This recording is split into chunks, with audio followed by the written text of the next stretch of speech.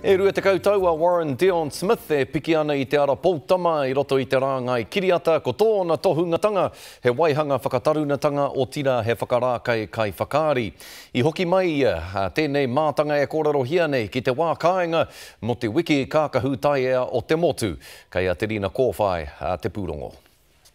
Mena kaore koe e mōhio ko wai a Warren Dion Smith, kaua e mahara, kaore e kore kua kite kē koe i ana mahi.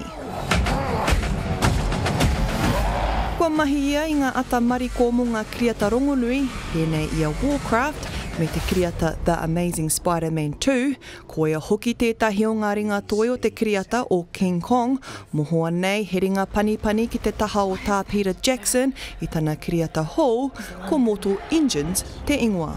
You know what, I couldn't even count how many people I have worked with and it's just I feel so blessed to be able to be in an actual industry that have claimed me for their own as an artist. I marika, kua mahi tahi ia me ngā ringatohu rongonui, pēnei i a Steven Spielberg rātou ko ngā kaiwhakaari, pēnei i a Orlando Bloom.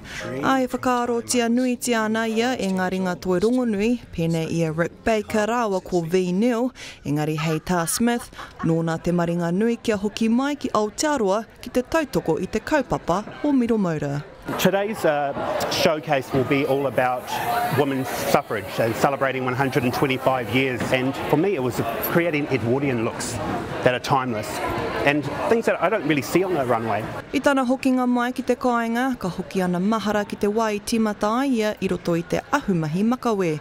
Nāna ngā makawe o ngā korokorotūī Māori i whakarākei pēnei i a Dalvanius Prime rāua ko Bunny Walters. It's, it's not until I actually do a show like Metal Mora that these memories come out that I haven't shared um, at, at all. Today, it means for me like a sense of belonging and that I feel as though that I, I feel like it's a marae and that we all know what our duties are. Hei tērā marama ka mahi a Smith i Te Whanganui a Tara, kātahi ka aro te titiro ki Haina, Te Rina Kōwhai, Te Karere.